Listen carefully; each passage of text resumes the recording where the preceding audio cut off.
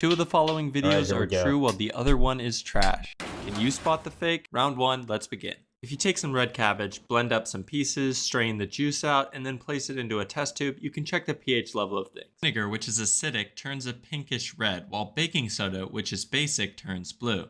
And he just made a primitive piece of chemical instrumentation. Yeah, nuclear power, we constantly monitor pH in both primary and secondary loops, keep it in strict ranges in order to prevent corrosion and limit radiolysis. So, yeah, red cabbage is a biocolorimetric detector or crude pH paper. In a cup of water, the pressure increases with depth. This increased pressure increases Uh. the density. This causes an egg, which has a very similar density to water, to neither float at the top nor sink at the bottom.